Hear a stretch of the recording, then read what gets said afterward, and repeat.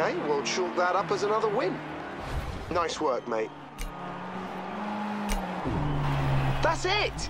You just keep ticking off these championship wins.